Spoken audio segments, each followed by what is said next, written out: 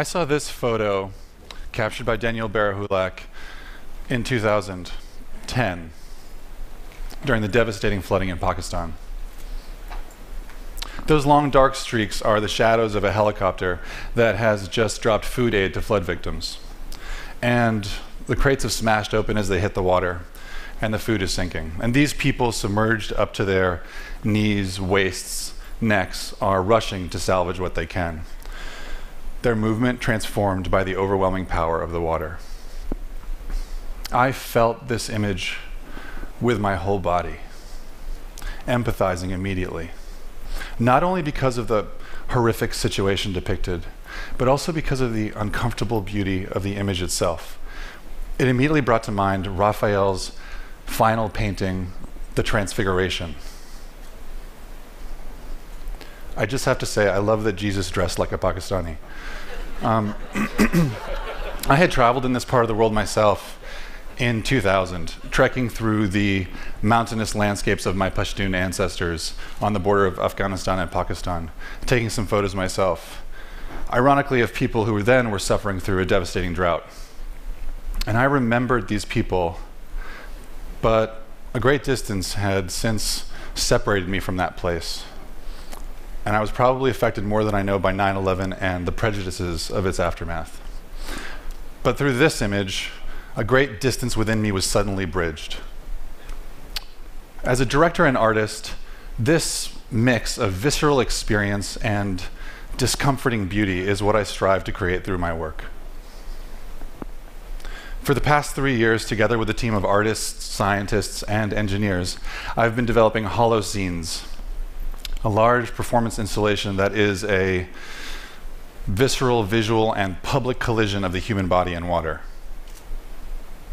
Sited in public plazas or parks or the courtyards of arts or science institutions, Holoscenes features three large aquarium-like sculptures, each inhabited by a single performer carrying out an everyday behavior like shopping or cooking. Filled and drained by a custom hydraulic system, each aquarium floods with up to 12 tons of water in less than a minute, transforming the movements of the performers within.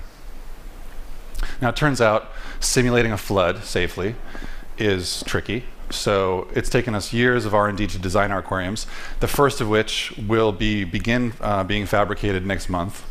And we just prototyped our hydraulic system using an industrial water container to uh, house performers uh, carrying out some everyday behaviors that we've gathered from collaborators around the world, such as buying flowers in a mall in Saudi Arabia, or nursing a thermos while waiting for the sun to set in Colorado, or making ramen in a dorm kitchen in Japan. As the water rises, the performer swims to the top for air when necessary, and then dives back below to adapt his behavior to the new aquatic environment. As the water drains, he continues, soaked by these mini floods and aware that the water will soon rise again.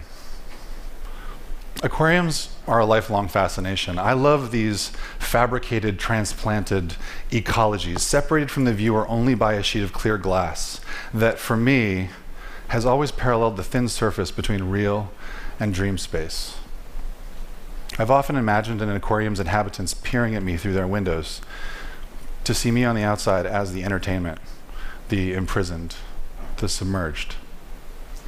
I'm using the aquariums of Holoscenes to